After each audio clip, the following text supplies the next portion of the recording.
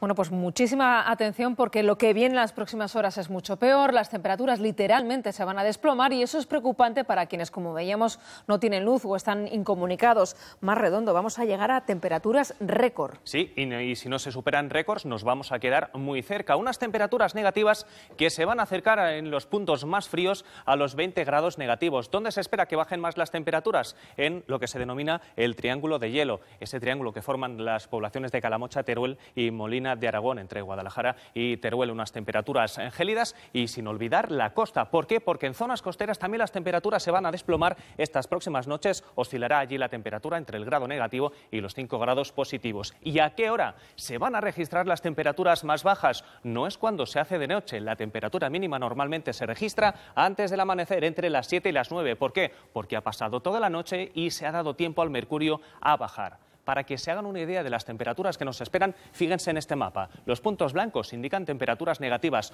Toda España va a dormir esta noche bajo cero, salvo puntos costeros y el Valle del Ebro. Estos sitios, estos próximos días, tampoco se van a librar de las heladas.